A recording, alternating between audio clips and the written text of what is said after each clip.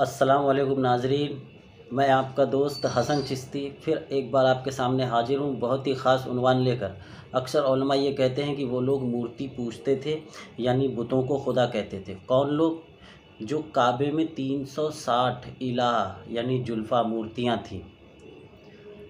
तो जो इस्माइली मुसलमान थे मक्का के, हजूर से पहले के रहने वाले, और जो है तो कुफ़ार मक्का मुशरकिन।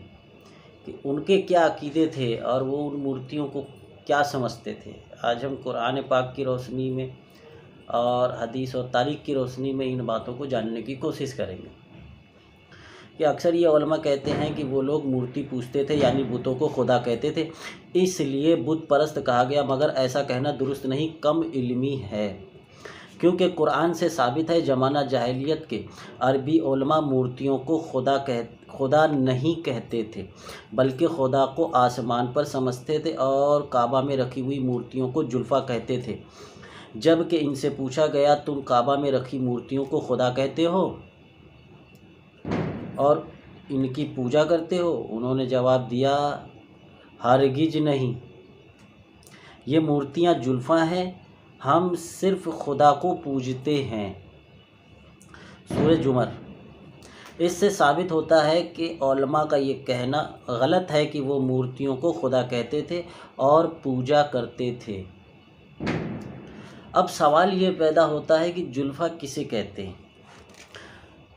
अगले ज़मानों में जब लिखा पढ़ी की लिखावट ना होती थी, उसी ज़माने में मूर्ति यानी जुल्फ़ा बनाकर उसकी अदाओं इशारों से सबक को समझाया जाता था। जैसे आजकल अखबारों में बाज औकात कार्टून बनाकर उसके इशारों और अदाओं से मकसद समझाया जाता है। उसी कार्टून को जुल्फ़ा कहा गया। अगले पैगंबरों को जो इल्हामी किताबें और सहीफ़े सुने जाते हैं, वो कोई कागज़ी मतबुआ किताबें न थी, बल्कि इल्हाम के मुताबिक मूर्ति की अदाओं को ज़ाहिर करके बनाते थे, जिसको कदीम अरब वाले जुल्फ़ा कहते थे, और एहतरामन काबा में रख देते थे, और हमेशा जुल्फ़ा की तिलावत किया करते थे। तिलावत किया करते थे, पूजा नहीं। उनकी मजहबी अकीदा था कि जुल्फ़ा जुल्फ़ा के मुताला से ही हमारी मगफ़रत हो जाएगी, यानी जुल्फ़ा मगफ़रत के लिए सिफारिशी होगा।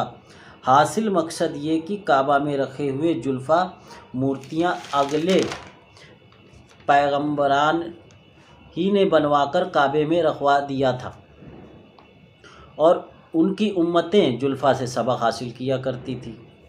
अब ये सवाल पैदा होता है कि जब कि पैगम्बरान ही अपने खुदाई इल्हाम को जुल्फ़ा बनवा कर काबे में रखवा दिया करते थे, फिर हुजूर ने उन जुल्फ़ा को क्यों नहीं काबे में रहने दिया?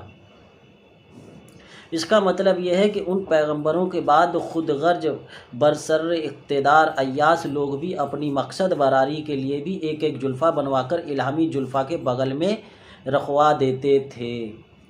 जैसे पैगंबर सुलेमान का जुल्फ़ा बनाया कि शहजादी बिल्किस के साथ रंगरलियाँ मना रहे हैं, पैगंबर का जुल्फ़ा बनवाया कि शहजादी जुलेखा से और पैगंबर का पैगंबर लूत का अलैहिस्सलाम जुल्फ़ा बनवाया, बनवा, बनवाया कि अवाम अलगाम बाजी में महू है। इन बदकारियों को देखकर कौम जबान न खोल सकी क्योंकि वो जुल्फ़ा भी काबा ही में रखा हुआ था।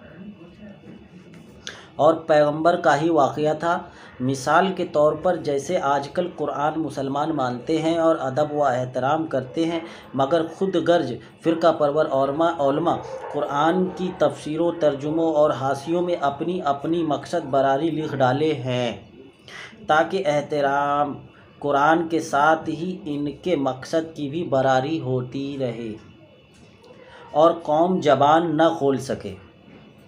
और हवाला सब अपने पैगंबर हज़रत मोहम्मद से पेश करते हैं कि अपने, कि आपने ग्यारह शादी किया, पाँच लौंडी रखा, इतने हमले किए, इतनी दौलत का माल इकट्ठा किया, वगैरह वगैरह। नौज बिल्ला।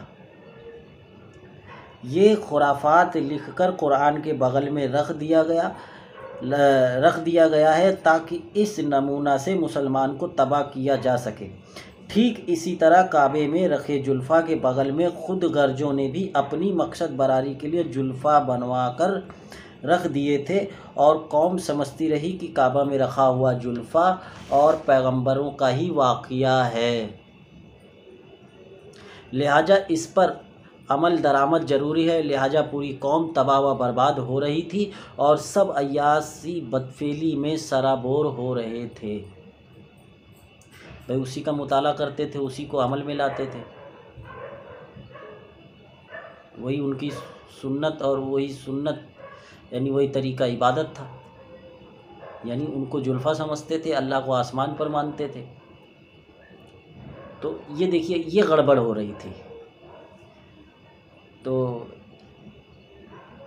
हुजूर सरकार दो आलम ने काबे में रखे हुए उन जुल्फ़ा में खुद गर्ज लोगों की रखी हुई मूर्तियों को काबे से बाहर निकाल दिया और पैगंबरों के रखे हुए जुल्फ़ा को काबा में अंदरूनी दीवारों में उलट कर पलस्टर करा दिया कि इन सहीफ़ों की ज़रूरत नहीं और हुक्म सादिर फरमाया कि अब काबा में कोई जुल्फ़ा, कार्टून वगैरह न रखे जाएँ। अगर हुजूर पैगंबरों के रखे हुए काबा में बदस्तूर रहने देते तो अंदेशा था कि बाद में बरसर इकतदार लोग इसी बहाने फिर अपनी खुद गर्जी की मूर्तियाँ बनवा कर काबा में रख कर अपनी मकसद बरारी करेंगे। इसलिए सिर्फ़ हज़रत आदम का सहीफ़ा हजर असवत। किसी मसलहत से रहने दिया गया और किसी जुल्फ़ा मूर्ति कार्टून किताब को रखना मुनासिब नहीं समझा। जैसे किसी का मशहूर मकूला है, मनसूख हुए सारे दुनिया के कुतुब खाने, मनसूख हुए सारे दुनिया के कुतुब खाने, क़ुरान का लक़ब लेकर उम्मी लक़बी आया। आज के वीडियो में बस इतना ही। और मैं आपसे विदा चाहूँगा। आपका दोस्त हसन चिश्ती, अस्सलाम वालेकुम।